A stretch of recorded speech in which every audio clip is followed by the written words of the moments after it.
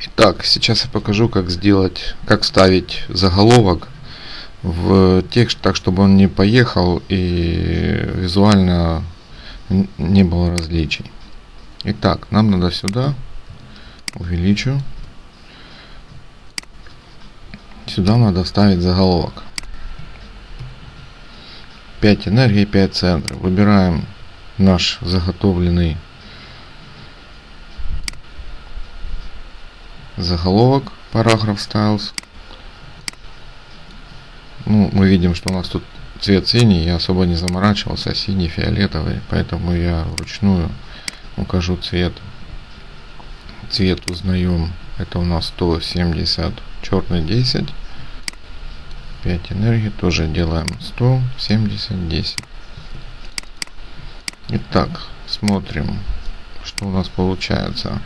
У нас получается то, что у нас висячая строка.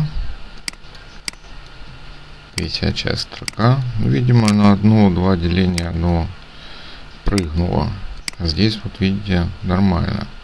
Но смотрим дальше. Вот висячая. Значит нам надо это все подтянуть вверх. Вот табличка, она должна была начинаться с новой строки страницы. Итак, пройдемся по порядку.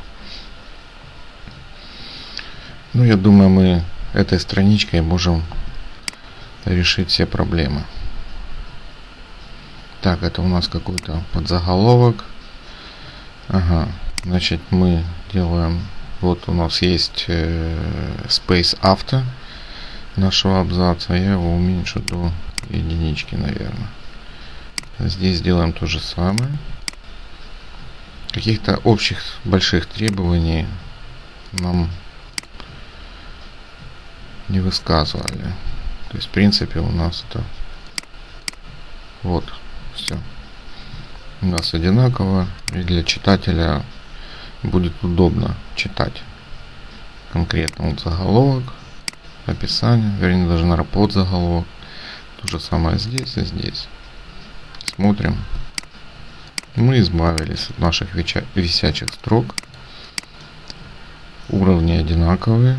Для того, чтобы сделать уровень одинаковым, берем, нажимаем на Frame текстовый, нажимаем Ctrl-B, Align Justify. Нажимаем ОК. Вот, теперь у нас ровненько. То же самое можем. Ну, здесь одинаково. Можем так, чтобы не отличались от других. Выделили два фрейма. Align, Justify. Окей. Табличка перешла туда, куда необходимо. Ну, в принципе, все.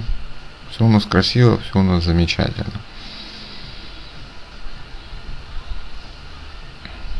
Всем спасибо. Есть вопросы, задавайте в комментариях. Есть интересные файлы, которые надо разобрать, присылайте.